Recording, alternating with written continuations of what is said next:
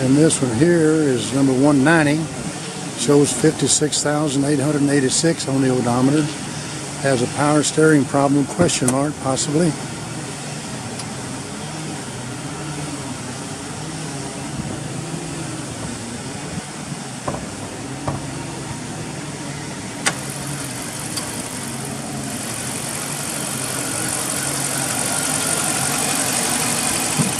And this is 5.7.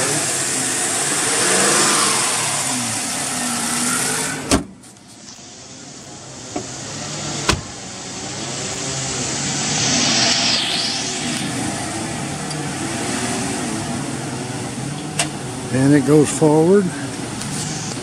Air.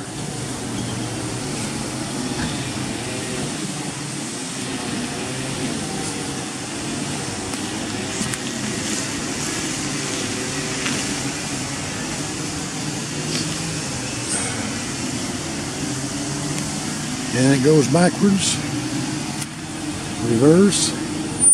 Cold, cold air. and it has a spare tire.